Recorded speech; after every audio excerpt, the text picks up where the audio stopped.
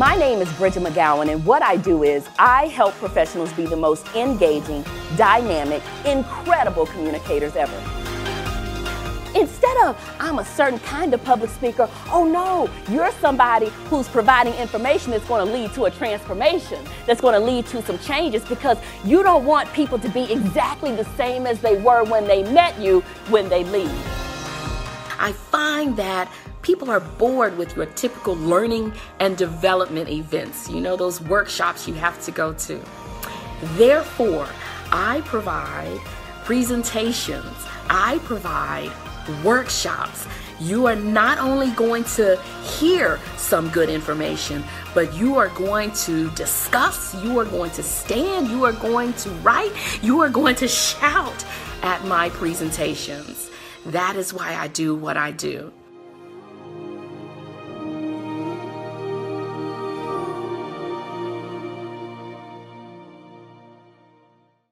Good afternoon, everybody.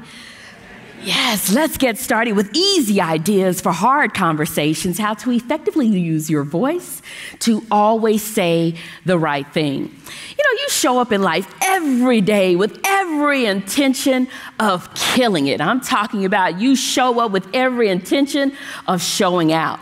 And just as you are hitting your stride, I'm talking about you are to the point where you almost want to high five everybody in the audience, everybody in the office it happens. You bump heads with somebody who just doesn't speak your language. you have to do something and you have to do it fast because you know what you say and what you do next can make all the difference between what ends up resulting from this exchange.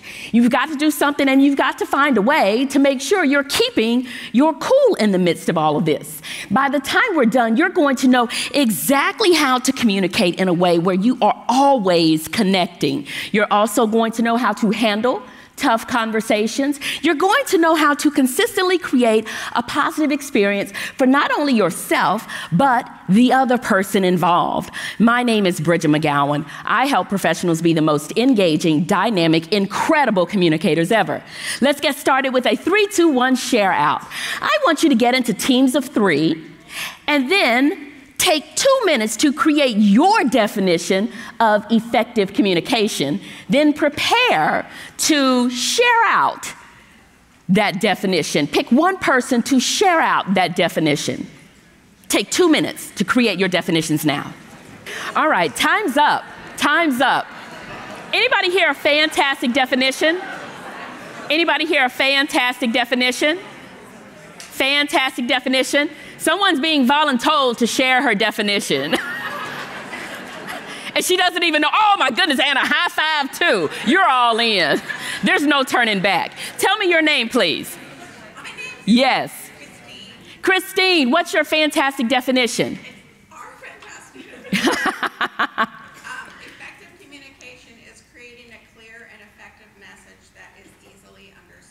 creating a clear and effective message that is easily understood. Thank you, Christine and friends. Another definition. Yes, sir. Tell me your name, please.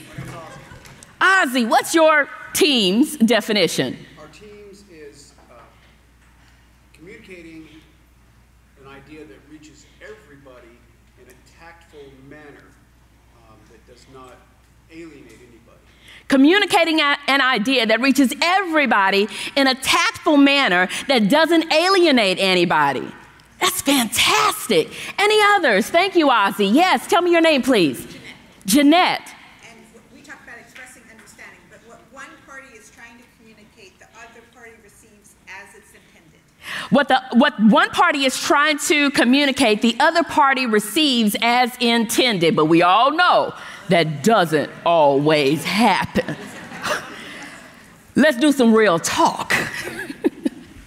Communication definitely means different things for different people, but we all have some common ground There's a common thread amongst all of those definitions, and it's about having this clear vision of what you want to achieve every single time you engage with someone. But you have to know how to keep communication from falling apart in order for that to end up happening. There's so many factors involved with why communication can end up falling apart. So, what's important today, what we must know is how to keep it from falling apart. One, it starts with understanding what dictates behavior. Why do people act the way they act? We're going to talk about that today. Also, understanding personal communication styles, not only the communication styles of others, but also your own communication style. Third, we must always have a plan, and I have a plan for you today. Finally, make everything you say sizzle. Make everything you say just catch on fire. Make sure that it's electric. Make sure that it just makes people say, yes, that makes a difference. So let's get started with what dictates behavior. I need you to get back into your teams again, but this time, Yes, we'll, we'll, explain this graphic too in a second. This time, I want you to think about a time when someone said something rude or demanding or just completely uncalled for. A time someone said something to that effect to you. Pair with a colleague, take one minute to discuss those instances and write that statement on a sheet of paper. And then I'll tell you what you're going to do with that sheet of paper in a second. Pair with a colleague or get back into your teams, write down a rude or demanding or just completely unnecessary statement. Then I'll tell you what to do with that statement in a minute. I want to hear one of those demanding statements. I want to hear a demanding statement and then give us the backstory and the response. I'm coming over there. We'll start here, and then where was that other hand I just saw? And then we'll come to you, sir. All right, let me get close to you. Okay. Talking to my magic mic. Okie dokie. Judith. Yes. Hi. So the person said, Why don't you listen? You always think you know everything. Wait, and, pause for effect, Judith. Mm. and, right, and then give the mm. mm. and it's a step parent to a teenager, and the teenager only visits on weekends. However, the teenager has taken some classes in communication at school and the teenager says, I can't read it. I don't have my glasses. They didn't say that. They said they took a deep breath, they looked the mom in the eyes, and they said, You're right. We can all be like that sometimes. Ah, nice, nice turnaround. Very nice. Thank you, Judith. Sure. Thank you. Hand them a round of applause for Judith and her team. Very nice, very nice. All right. Let's Hi. become one with the mic. Okay. John, hello. Hello. You're you like my Barry White voice. How you doing? You're not allowed to run my life. And then so the backstory. Wait, who said that? Not me. To whom? So, the backstory we came up with she has been in an abusive and controlling marriage for the last 15 years and is finally standing up for herself and leaving her husband. Hello. And then the responses to you're not allowed to run my life is what makes you think I'm trying to run your life?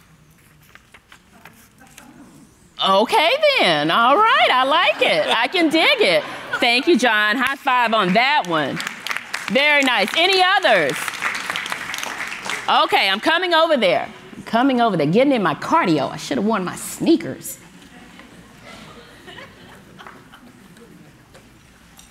If Tina Turner can do it, I can too. Let's do it.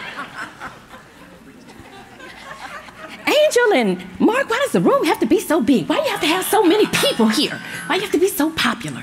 My friend James here, uh, my friend James said that when he, years ago when he was working at a car wash that uh, a man yelled at him for spraying cologne in his car because his wife was pregnant. And, uh, how did he respond? He said he did not re- defend himself, and his wife made him apologize to him, and they've been friends ever since. how do you like that? Are they still spraying perfume in the car? I know. Okay. All right. Fantastic job here. Fantastic job. Thank you for sharing. See, this is what it boils down to. You never know what the backstory is when someone says something or does something that's out of sorts, that sounds irrational, that sounds rude. You never know what's going on. And here's something else to remember people are not born deliberately rude, deliberately nasty, or demanding. Babies don't come into this world mean, do they? They don't come intentionally mean. People are not born that way. It could be past experiences that are just absolutely horrible. Or maybe when you're met with someone who doesn't communicate the way you need that person to communicate. Maybe that person has had a bad day. There can be an entire chain of events and circumstances to which you are not privy that cause them to act that way. There's a whole wheel of factors that dictate a person's personality, attitude, and behavior. A whole wheel of them. One is how that person wants to be recognized or rewarded. Maybe that person does not feel like he's uplifted at home. Maybe she doesn't feel like she is getting the promotion or the recognition that she should get at work. And that just weighs down on you every single day. So you never know when a person just kind of gets you at just the wrong moment. There's family expectations. You don't know what's going on at home. What is expected of that person? What kinds of questions are being asked the minute the person walks through the door? Then there are friends' expectations. You have friends who are kind of bearing down on you, and maybe they're not saying anything outright. But there's a certain level of expectations they have for you, and, and the person stresses about that history of experience with, with education, history of experiences with work. All of this plays into how a person can show up in front of you. Peers' expectations, they're on social media, and you see them going here and doing that and trying this. And you're thinking, my goodness, I should be doing that. And then what can show up in front of you is a whole host of events or other forces that have absolutely nothing to do with the matter at hand. So you don't just have this rude statement in front of you, this demanding comment in front of you, but you have all of this at play and on a person's shoulders that can take the life out of a person that can have a person showing up and not necessarily showing up as his or her best version. Behavior and attitude are dictated by one thing. Behaviors and attitudes are functions of their environment. And either the behavior will get better or it will get worse depending on how you respond to it. I'll say that again. A behavior and attitude can get better or it can get worse depending on your response to it. So, what has to happen is you start to think to yourself, well, how do I respond in a way that gets me what I want? How do I make sure that I can get rid of this negativity before I end up going negative myself? That means you must always have a plan. How many of you remember this little gizmo? You remember, what, what, what was that? Blackberry, it was in the Blackberry family. Palm Pilot, still in that family. It was the Motorola Q. It came out in 2006. By 2007, I had one. I was too cheap for the Palm Pilot and the Blackberry. I see y'all kind of suchy muchy and got your Blackberries and whatnot. I didn't have the money for a Blackberry. To go with, yeah. Came out in 2006. By 2007, I had one. My husband and I have a son.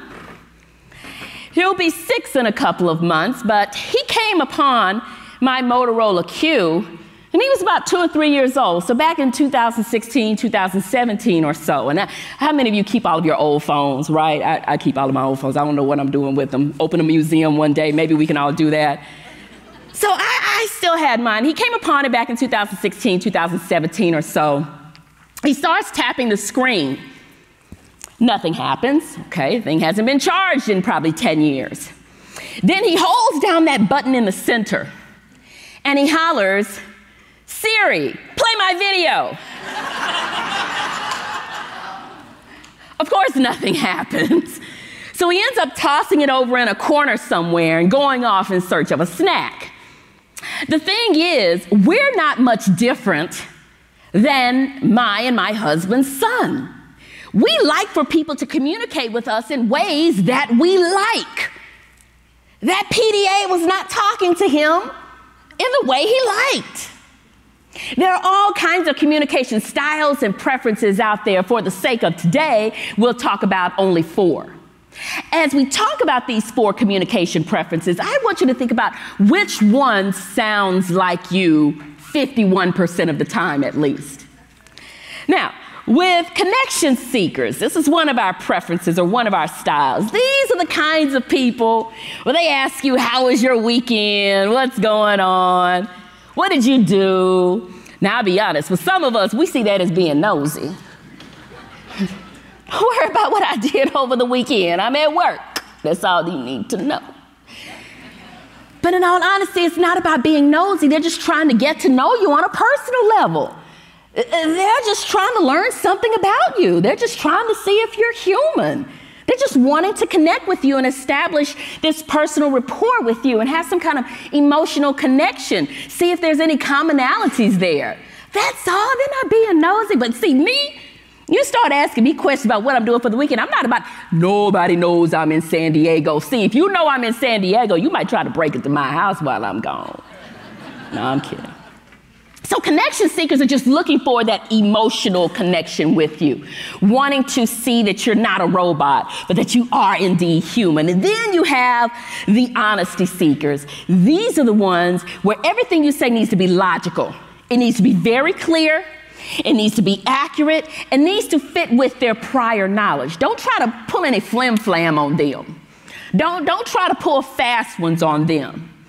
Now, we also have the results seekers. They're very similar to the honesty seekers. With honesty seekers, they want details and data points. They want factual information, not because they're questioning the veracity of what you're saying, but so that they can intelligently discuss this at a later point, so they can feel confident in what they're telling others. However, with results seekers, they don't want a lot of details. They don't need a lot of data points. They don't need a lot of facts. They just need the one fact in which they are searching. These are the ones where they just want you to cut to the chase. Okay? If I ask you a yes or no question, give me a yes or no answer. No more, no less. Sometimes they're seen as being abrupt or rude. No, they're just trying to get somewhere. All of that other, those details kind of muddy the waters. Uh, their, their, their thought process, I, I'm just trying to get there. And then you have the energy seekers. These are the ones that believe in lights, camera, action. Let's do this. Let's bring it. They need to feel a sense of excitement. They need to feel like you are not just physically there, but also mentally there. They're just showing up and showing out and being the best version of yourself. With connection seekers, they want to connect. With honesty seekers, you've got to make sense. With your results seekers, cut to the chase. Don't, don't spend a lot of time tiptoeing through the tulips, dancing through the daisies, or roaming through the roses. Just get to the point. And then with energy seekers, be the absolute best version of yourself. Look alive. Don't show up looking like you just rolled out of bed in your pajamas. Look like you care. Now, pretend the room is divided into, oh, this is nice. It is in four quadrants. How about that? You don't have to pretend. Is in four sections. Oh, this is lovely. My goodness, you thought of everything. With connection seekers, if you're a connection seeker, and let me get through all of the, the directions first. With connection seekers, if you believe that sounds like you, you like to connect, you like to build rapport, you like to ask about a person's new pet kitten named Pork Chop, if you're a connection seeker, I want you to move to that section of the room momentarily. If you're a connection seeker, to that first section. If you are an honesty seeker, you'll move to this section. And you don't have to take your things with you, we'll just go momentarily for a few minutes. And then if you are a result seeker, you'll move to this section. And then if you are an energy seeker, you'll move over there. Once you get there, there are a couple of things I need you to do. I need you to answer some questions for me. And you'll have to get into cohorts within your cohort, of course. In what ways can your communication style cause you to be misunderstood by others? And what is the best way to effectively communicate with you? Connection seekers, honesty seekers, result seekers, energy seekers, move and then answer those questions. For my connection seekers, for my connection seekers, tell me, tell me, clap if you can hear my voice. Clap if you can hear my voice. It's one way to get a standing ovation. connection seekers, in what ways can your communication style cause you to be misunderstood? Uh, Let me come close to you so everybody. I think we're, should I?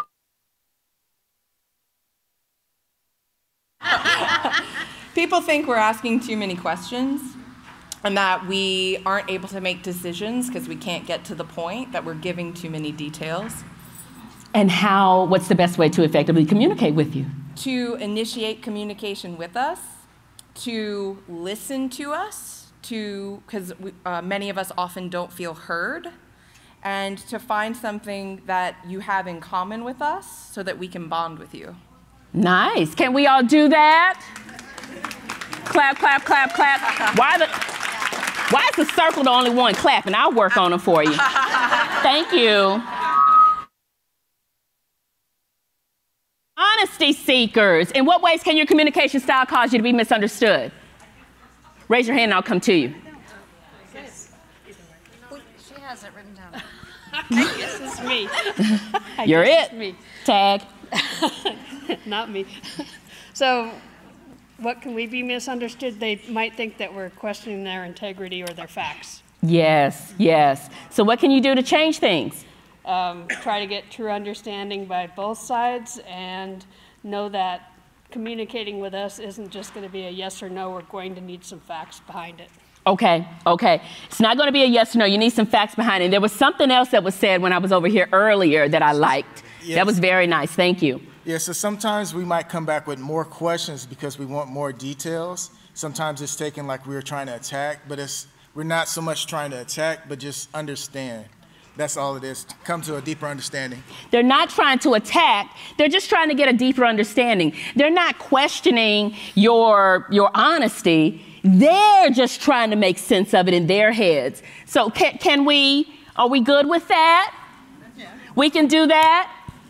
Okay. Oh, we're going to sing. Co- What'd you say? Said they're the other side of the connection seeker. They're the other, honesty seekers and result seekers can be the opposite side of connection seekers. Very good observation, Janice. What? For my result seekers, in what ways can your communication style be misunderstood by others? That we don't care. That we don't care. Yeah. Wait. what? what was that?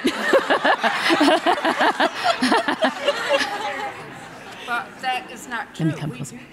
But that okay, you see, you didn't you didn't hear the rest of it. She said, but we do care. we just want you to get to the point. We we just want you to get to the point. We care. We just need you to get there. That's right. Like yesterday. Time is money and money is time. That's true, that's tough to do. And money is pizza. I think I read that on a t-shirt the other day. Too much information is confusing.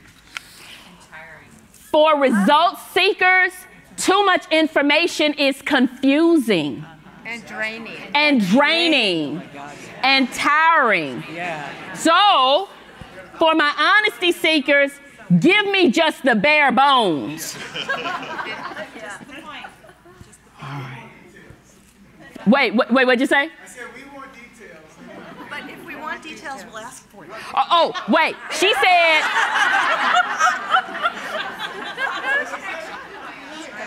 if we want details, we'll ask for them.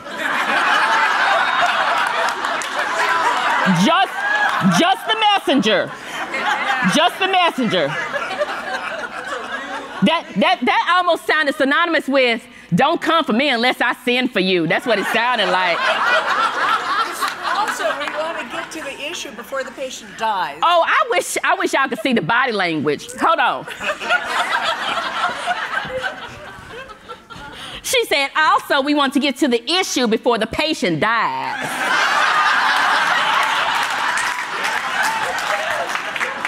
now we're talking life and death.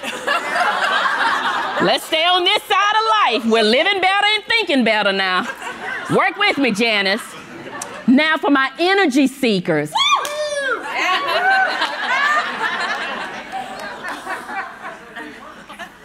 I'm already tired. In what ways can your communication style be misunderstood? Too much. talking. Uh, uh, it's like three or four people talking at once. Too intense. Too intense, too much talking. Pie in the sky, squirrely all over the Pie in the sky, squirrely all over the place. Not enough detail. Not enough detail. Right, right, right. We think big picture. We think. So how can we? How should we communicate with you? Just get excited and get on board whether you are or not. Smile. Get excited and get on board whether you like it or not. Suck it up, buttercup, and make it happen. All right, thank you for participating. Have a seat. What we must all do, what we must all do, I know. What we must all do is some style stretching. Style stretching. What we must all do is some style stretching.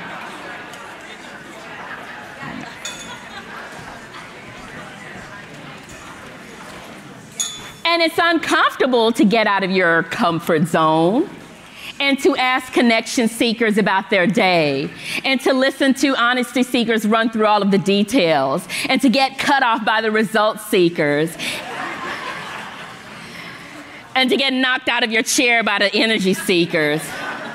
But we must all do it if our goal is to be more effective communicators. Because not everybody is going to show up the way we want them to show up. So here's your quick formula for how in the world do you figure out what to say, what to do in each instance, and how to identify in what quadrant a person falls. With connection seekers, start with small talk first. Ask them about themselves. Just already have in your mind what is your quick go to phrase that you'll have. Because especially if you're an honesty seeker or a results seeker, you don't necessarily have one of those. You're thinking facts, figures, let's get it done. Ask about them. Give them suggestions. Don't tell them what to do, and then back off and give them time to see how they feel about something. Always show them that you value them, and this just goes for everybody. Show them that you appreciate them and that you find them to be significant and a valuable asset to the team, to the world, to your life. With honesty seekers, have a written plan for them. Have some accurate details. Be logical. Don't bamboozle them. Downplay the emotions. Give your sources. Ask them what they know. For result seekers, give them the bottom line. Don't spend a lot of time talking about the pie in the sky and the big picture and asking for details.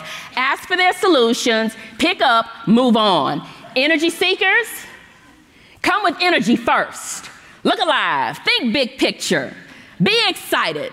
Be excited to be there. Leave out the details. They don't need all of that. They just need to know what could be. What are we going to do? Moving forward, onward and upward. Let's do this.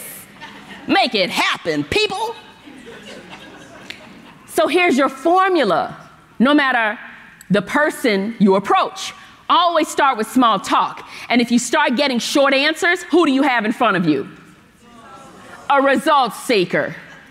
If you are getting the full answers, comprehensive answers, you probably have a connection seeker and keep moving in that vein. But if you get the short answers, you probably have a results seeker. If you have someone who tells you, who stops you and say, hey, will you email that to me? Text it to me? Uh, is there a website I can go to, a brochure I can look at? Then you probably have yourself an honesty seeker. And then, no matter to whom you are speaking or with whom you are engaging, always have a smile, always have a good attitude. It can't do anything but get you further along in the game. Smiles are infectious. It's hard to pass someone who's smiling and you don't feel the urge to smile back. It just, it just bodes well for everything. Now let's talk about creating the rest of the plan. I have a two step plan for you. Very, very simple, very, very easy. One, always know what is the product that you want from this conversation. What do both of you need to get out of this exchange? You've got to walk into any kind of conversation, in person, online, via email, whatever, knowing to yourself, what do I want to get out of this? I have a sorority sister, she's been texting me the last few days. I can't understand where this mess is going. I said, Yo, E, let's pick up the phone and talk. That's okay, thank you. What do you want to get out of this? Stop texting me. If you don't want to pick up the phone, because in my head, I know what I want to get out of the conversation. I always have some sort of idea of the product, the end product for the conversation. It's like going to the grocery store and you're just picking up something, throwing, in the, throwing it in the cart getting all kinds of things, Twinkies, all kinds of mess you don't need. But if you go in there with an end product in mind, I am going to make spaghetti and salad. Aha! Let's go to the produce section. Let's get some lettuce. Let's get some tomatoes and so on and so forth. You have and a product in mind. And then make sure you have a process in mind. What steps are going to get us to that end product? And I've got six steps for you to get you to that end product of your conversation. The first step is to put yourself in the other person's shoes. You've heard it before. But you have to say to yourself, what is this person's point of view? Why is this person believing that his or her point of view is right? Why does this person believe that his, his or her viewpoint is of greater value than mine? What's going on? What's making this person think this way and act this way and talk this way? Let me just step back for a second and say to myself, how would I act if I was in that situation? What's going on here? Second step is to always focus on bringing value. You want people to leave you being in better positions than they were before they met you.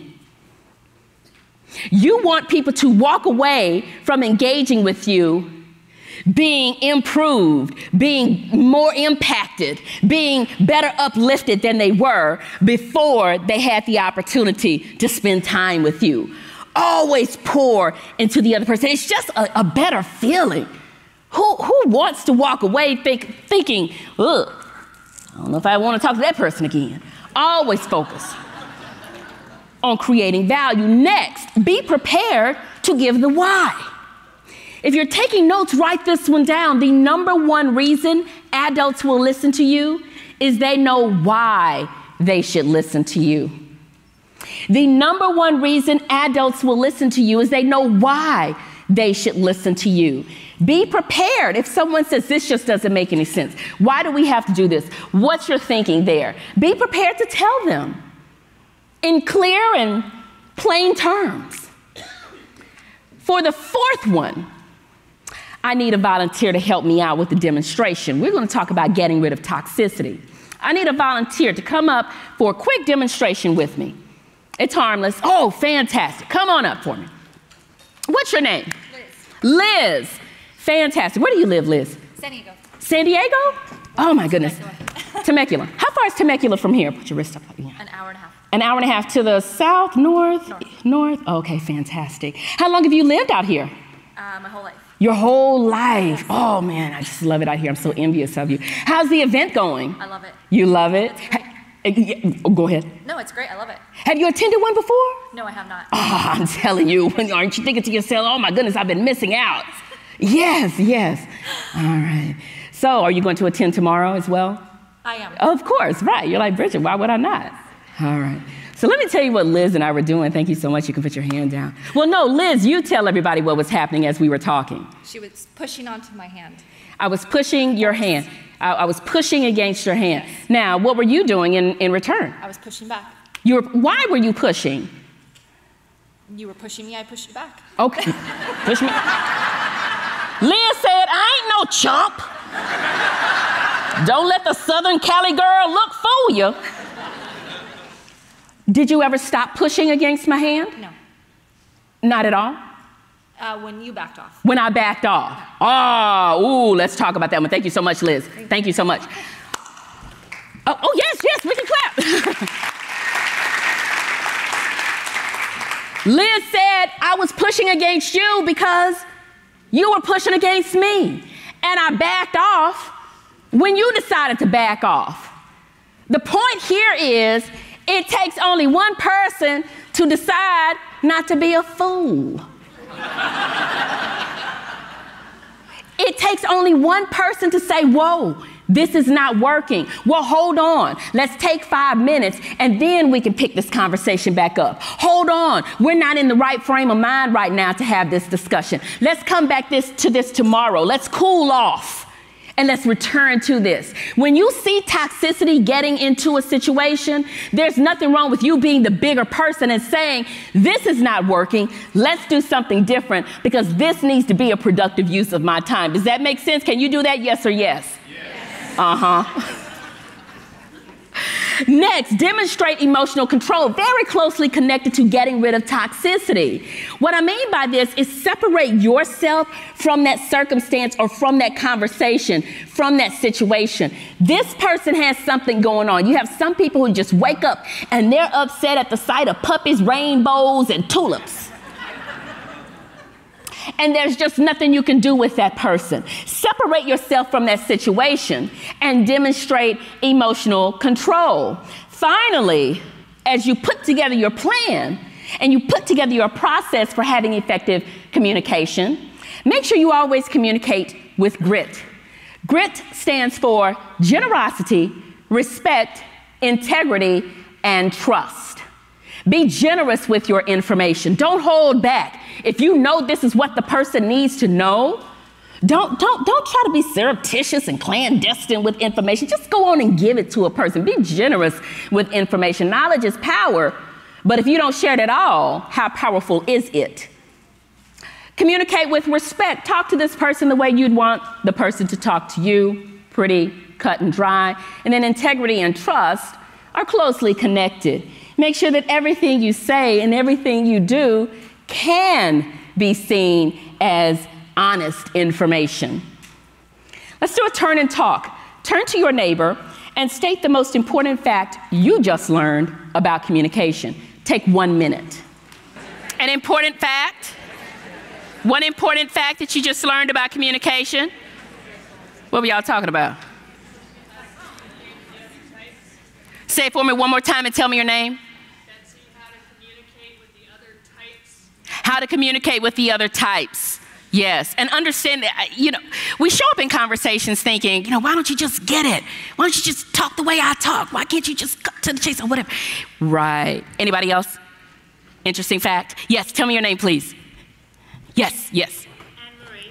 Anne Marie. Yeah. I like the, uh, it only takes one of you to stop you being a fool.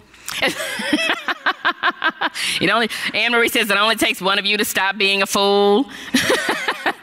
I can have a 60 minute eloquent speech, and then one person will always gravitate to the one silly thing I said. I love it. As long as it resonates and gets the job done, make it happen. Now, let's wrap up and talk about how do you make everything you say sizzle. I want you to stand and, and just kind of stand and, and lean over, hunch over like this. Stand and do this. And in your, in your most powerful, in the strongest voice that you have, I want you to say, I am powerful. Okay, now that didn't make sense. Okay, now I want you to do this. I want you to do this. And I want you to say, I am weak.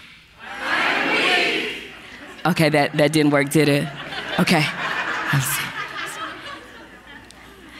What I want you to do, have a seat, have a seat. What I want you to do is every day show up with confidence. Work and build on your confidence day in, day out, like there's no tomorrow. And make sure your words and your body language are matching each other. If you are strong and fierce, I want you to walk and look like you are strong and fierce. I want every single word you say to scream strength and fearness, fiercelessness. wait, wait, fearlessness. Get it together, Bridgett. Secondly, consistently demonstrate your credibility. Show that you can be trusted. Show that you are in control. Show that you are together, that you are all that and a bag of chips. Give everybody a reason to listen to you. This means pull people in with your magnetism. This means get people excited and pumped up about spending time with you. This means pass the microphone, meaning make the conversation not all about you, but about your other listener. And then give useful information that people can take and do something with it. Give everybody a reason to listen to you on a regular basis. And then my final one is be flawless every single time you speak. A quick story for you. I was in San Diego in May of 2018 getting ready to present at the Association for Talent Development Convention. There were about 10, 12,000 people in attendance.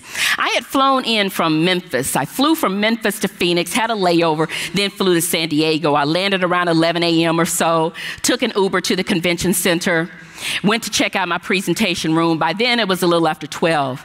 I'm calling the Marriott Marquis, that's where I'm staying, to see if they can let me check in a little early. I'm tired. I've been up since probably 3 a.m. Pacific trying to get here. I'm exhausted, hoping that I can go maybe take a nap, freshen up. I call, no one answers. I call again. I'm thinking, what kind of what kind of joint is this? It's the Marriott Marquis. Why is nobody answering the phone? True story. It's around 12 p.m., so I'm thinking it's checkout time. They're probably backlogged. I'll just go to the speaker ready room. As I'm walking to the speaker ready room, I read people's name badges. I don't wear my name badge, but I'll read everybody else's name badges. And I see this one name badge, and I know this name. I know this man. He does not know me. In a split second, I'm asking myself, Bridgett, do you walk up to him? Do you say anything? Do you not? Do you, do you get on your plane and go back to Phoenix tomorrow and regret that you didn't say something to him? Bridgett, you've got a presentation in just under three hours. You've got to be mentally ready. You've got to be together. What could happen if you approach this man could be devastating.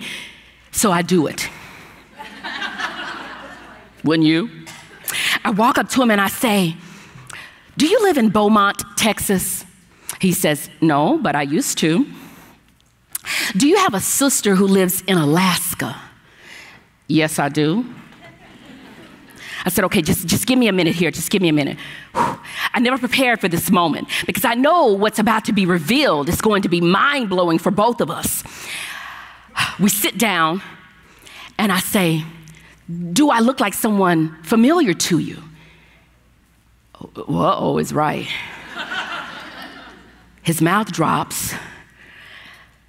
I said, Yeah, I'm your niece. The sister in Alaska is my biological mother. She gave me up for adoption the day I was born. The family knows nothing about me. I know all about the biological family, but they don't even know I exist, save his mother and father who took her to the hospital. He was 16 at the time, she was 22. She had just graduated college. They're all still living at home. Her mom and dad said, Listen, man, we're just trying to get by as it is. You're giving this baby up for adoption. We don't know the story here, but hey, we, we can't do this. So, as you can imagine, and here it is all these years later, well, not all these years, but quite a while later, I still have a hard time telling that story, as you can imagine. I'm sitting here thinking, how am I supposed to go do this presentation now? And he was very nice and very gracious, and he's got all kinds of questions. And the next day, we even had lunch together, and he was telling me how it felt like he was sitting having lunch with his sister. She and I have never met. So I go do the presentation, and I'm just like, oh, I've just got to do this because I knew my audience didn't come to hear some sob story. They, they didn't come to hear how I just met Uncle O for the first time. They came to hear real information. They came to hear a presentation. And it didn't matter what I had going on. I still had to, in some kind of way, be flawless. No matter what you have going on, find some kind of way to pull it together, get yourself centered, show up, and show out every single day. Does that make sense to you? Yeah. I want you to think of one thing you will do with this information and one thing you still have questions about. Stand and tell a neighbor your two things. Stand and tell a neighbor your two things. One thing you will do with this information and one thing about which you still would like to know more. Stand and tell your neighbor your two things. Take 30 seconds. Here are your next steps. One, use this effective communication context. Not everybody needs the exact same thing in a conversation. Style stretching is required, and sometimes it gets uncomfortable. It does. But if you want to effectively engage with others, a little bit of stretching is necessary. Have a plan while you're doing that stretching, and always make sure everything you say sizzles. Listen, I have this $50 bill here, and it is going into someone's wallet. Who wants it? Oh, yeah, yeah, yeah. What I do this to it? Still want it? What if I do this to it? Grind it in the ground. Still want it? Right. Because it's still $50, right? It's still worth $50, yeah? Hmm. You see, this is the deal. You meet people sometimes, and they get crumpled up, they get beaten down, they get ground into the ground. But it still doesn't change their value, does it? It's still worth a whole lot. You see, the worth of our lives does not come in who we know or what we do or who we are. It comes in who we are and how we demonstrate who we are in the way we connect and communicate with others. We all have value, high value. And we've got to respect that day in, day out. I promise you that you would understand what dictates behavior. You'd understand personal communication styles, also how to create a plan and make everything you say sizzle. If you want more, check out the bookstore. Get a copy of Rise and Sizzle Daily Communication and Presentation Strategies for Sales and Business and Higher Ed Pros, as well as my newest book, Show Up and Show Out 52 Communication Habits to Make You Unforgettable. Thank you. Thank you.